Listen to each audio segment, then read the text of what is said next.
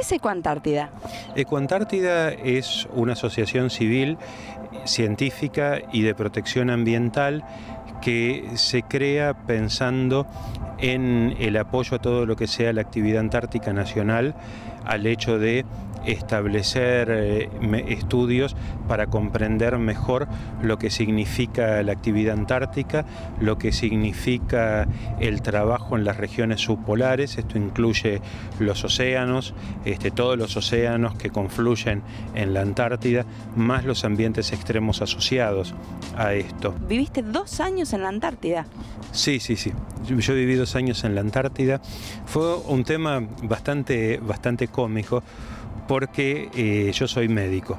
En ese momento estaba haciendo la residencia en el Sanatorio Antártida y lo último que pensaba era ir a la Antártida y en un momento cuando no teníamos trabajo, estábamos tomando un café, viene otro colega y me dice que se abría el concurso para médicos que querían ir a la Antártida. Bueno, yo dije, no, la Antártida no es para mí, es para los pingüinos, que tengo que hacer yo en la Antártida?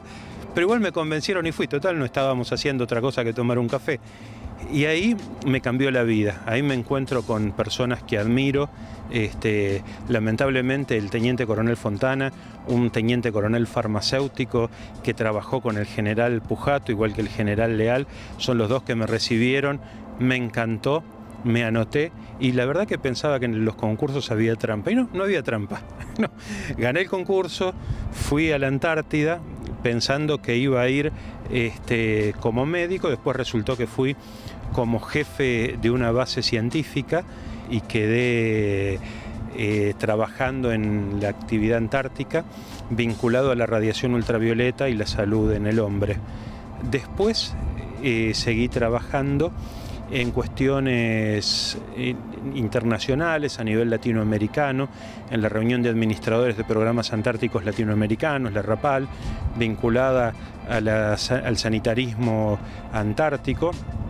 Para que se entienda, el sanitarismo antártico en su momento eh, llegó a que se estudiara los viajes a Marte por parte de la Agencia Europea Espacial y por parte de la NASA de los Estados Unidos y en los últimos años de, mi gestión se trabajó con la Universidad Católica en temas médicos vinculados a la medicina aeroespacial, fundamentalmente a los viajes a Marte en expediciones tripuladas, o sea que se hace medicina grande en serio.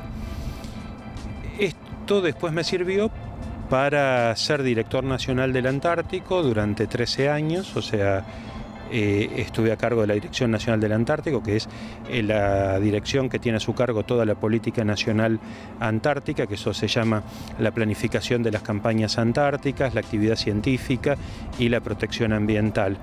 Durante unos ocho años he trabajado en el Comité de Protección Ambiental de la reunión consultiva del Tratado Antártico, fui vicepresidente de eh, los directores nacionales del Antártico a nivel mundial, son 33 países que tuve el honor que, mi elección fuera por aclamación, o sea que fue unánime, eh, y que realmente Argentina haya estado en, en el lugar que le corresponde, no gracias a mí, sino gracias a todos los que trabajan en esa dirección y muy especialmente a los científicos que se han capacitado muchísimo y dan mucho, inclusive sus vidas, para trabajar, eh, trabajar en la Antártida.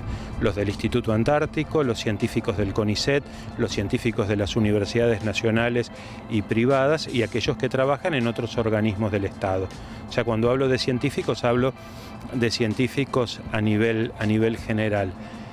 Así que la experiencia fue lo que me cambió la vida y si lo pudiera este, reducir a una frase, ahora le doy importancia a lo importante.